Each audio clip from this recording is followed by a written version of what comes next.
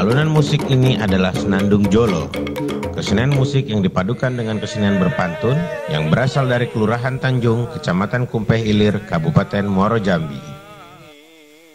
bulan, cayola bulan,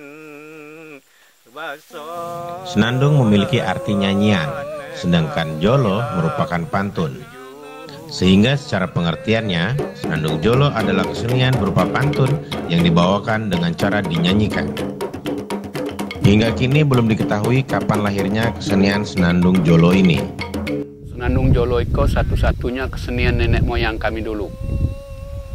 Jadi turun-menurun sampai ke kami sekarang. Kami kini tuh tinggal lagi meneruskan Senandung Jolo itu. Senandung Jolo dapat dilakukan di mana saja, seperti saat menebar benih padi, bahkan menjaring ikan di sungai. Dari Moro Antonio Depra Anggara melaporkan.